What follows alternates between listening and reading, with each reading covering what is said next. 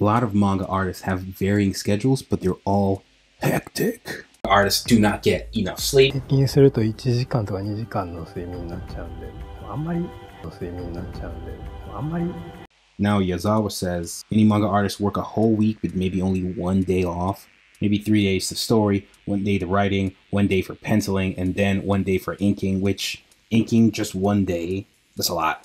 The research here for Masashi Kishimoto, the creator of Naruto, his own schedule. Monday starts with a rough draft based on the storyboard he drew the weekend before. Tuesday finishes the draft and then does the inking in the evening, and I'm assuming this is majority of the chapter and not just like one page. And then Wednesday submission, meaning that everything should be done by Wednesday. That's crazy. Still no rest Thursday, even though you've submitted, because you need a meeting with the editor for the continuation of the story for next week. Friday builds on Thursday, but now you move forward creating the plot and then the storyboards. And then you must finish storyboarding on Saturday so that Sunday, maybe you have a free day. You know how artists are, procrastinate. I can see some Sundays where it didn't finish on Saturday, so it creeps into Sunday, didn't get any rest. He even talks about how he's gotten sick and even have to be hospitalized at some points. I can relate. His cells were dying. All you aspiring manga artists you still want to do it.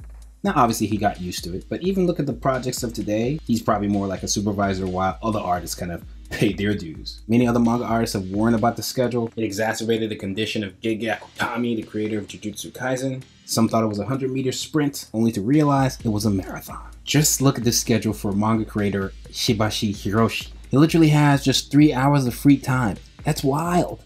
This is Japanese version, English version. You got room for storyboard. There's room for editor meetings, fixing the storyboards after the editor meetings, colored illustrations, because somebody's got to do those colored covers, volume covers, promotional illustrations. There's room for that here. There's room for sleep. At least it gets some some sleep, but you can see some of it only getting like five hours. And really you need about eight, right? Five is not the worst in the world, but you need more than that only three hours of free time, some writing here and there early Sunday, which I assume is what scenario means, manuscript stuff, I guess that's working on manga pages. So this is a wild, intimidating schedule. I tried to create my own, but it never stuck because sometimes some stuff just hopped on my plate that I didn't plan for. And then if I had a list like this, then you're gonna have to slap on social media here and there, which I just kind of put to the back burner for the past couple weeks, just so I can hit this deadline.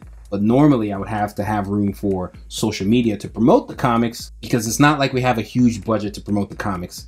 And I want you guys to be able to read what I make. Apple Black Volume 1 to 4 available. Go enjoy. Treat your brain to some goodness. But in order for you to hear that, I need to make videos, TikTok, Twitch, Instagram, Twitter, and obviously the YouTubes. And I have to promote all the other Saturday AM series because again, we're still really small. And until we have like a huge anime or something like that, or go crazy viral online, this is what's gonna have to be. Or all the YouTube people who talk about manga and anime start to talk about us a little bit more, or honestly at all. Till then, I gotta do it. Luckily, we have been getting bigger. A lot more artists have been writing articles, which I think is really cool, but it's not enough, especially if we're gonna compete. My series, Apple Black, starts with an A. So when you go to the bookshelf and you look for Apple Black, it's right next to Attack on Titan, and the C's for Clock Strikers right next to Chainsaw Man and Oblivion Rouge right next to One Punch Man. So we have to be competitive. And you can't be competitive if nobody knows about you. And then if you're not selling, that's not good. And so I have another video talking about the harsh realities and harsh truths of being a manga artist or an author of any kind in these stores and how cutthroat everything really is. We'd love to hear your thoughts on the whole manga schedule thing after you do a lot of the fun engagement stuff, unless we have beef. Till next time, it's Whyt Manga, and I'm Audi 9000.